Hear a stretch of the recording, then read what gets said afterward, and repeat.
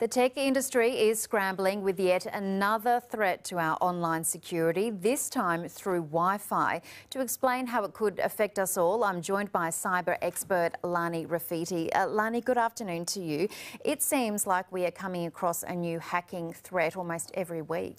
Yes, unfortunately, Eva, that does seem to be the trend these days. And I think as we use technology more and more, particularly online for business, these types of threats will become more and more prevalent. Now, this particular one is a flaw in the security mechanism we use to protect Wi-Fi. Now, Wi-Fi being the most widely uh, used way that we connect to the, the internet in businesses and homes, uh, means that potentially an attacker could just be within 20 or 30 metres of your home or premise and potentially to be able to steal the data that's sent between your phone or your computers and your wireless gateway. And if you think about what we're sending these days over our business and home networks, it could be banking passwords, financial uh, statements, could be intellectual property, which is why the industry is treating it so seriously.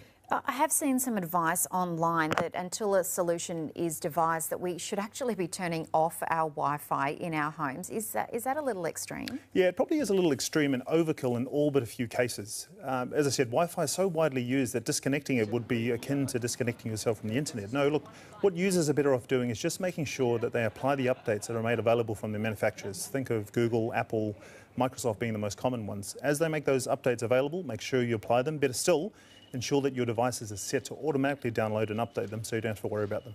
Uh, Lani, do you think uh, the strength of your password can protect you? Can that, can that actually make a difference? Good, good idea, but unfortunately in this case, no. No, but in general, look, strong passwords are a great idea, along with not reusing those passwords across different sites, and also, if available, use a second method of authentication. So think of a, an SMS uh, code sent to your phone or a banking token that the bank gives you for online banking.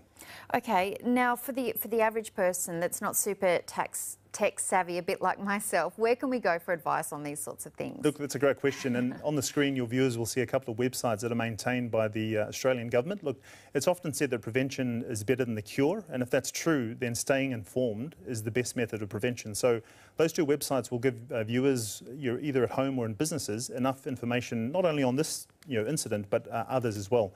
And I can't stress the importance of, of staying informed if you want to prevent yourself from being affected by these types of incidents. Yeah, that is some great advice, Lani Refiti. Thank you so much for joining You're us. You're welcome.